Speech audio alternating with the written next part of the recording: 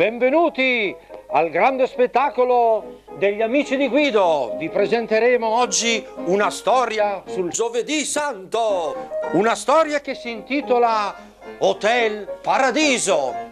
Dovete sapere che tanti anni fa, in un paese tipo questo, vivevano tante persone e tra queste c'era anche un uomo che si chiamava Andreino, anzi, come lo chiamavano tutti, nonno Andreino, perché nonno Andreino era un uomo buono, era stato buono fin da giovane, aveva sempre cercato di seguire gli insegnamenti di Gesù. Ciao, anche adesso che sono quasi cieco, cari bambini, sono veramente amico di Gesù però c'è una cosa che non ho mai capito bene.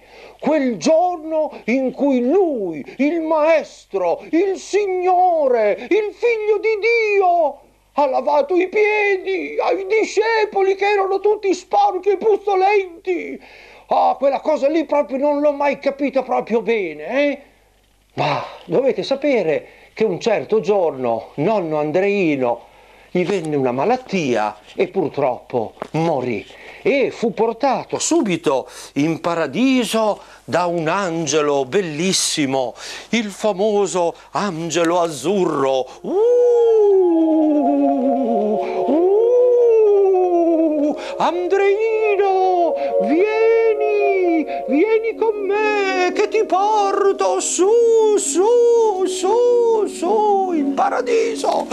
E Andreino arrivò in paradiso e l'angelo gli disse guarda, il paradiso è come un grande hotel, un hotel bellissimo, con dei marmi preziosi, pieno di stanze, grandi, spaziose, piene di gente, con tutti i santi che lo salutavano. Andreino, benvenuto!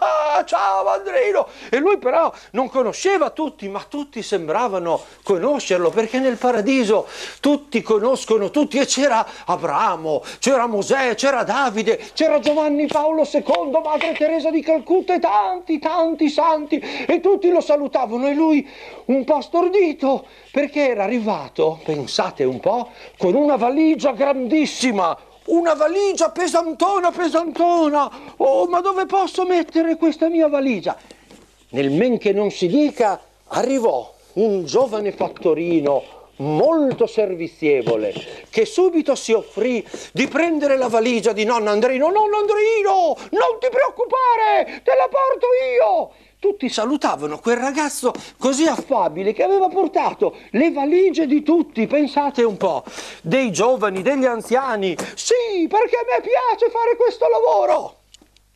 Nonno Andreino però voleva conoscere il mistero che da tempo lo tormentava. Come mai Gesù aveva lavato i piedi ai discepoli e andava in giro a chiederlo e tutti dicevano ma io forse non lo so bene, non ho ancora ben capito. A un certo giorno a un certo punto addirittura incontrò lui San Pietro e disse nonno Andreino, ho capito cosa stai cercando.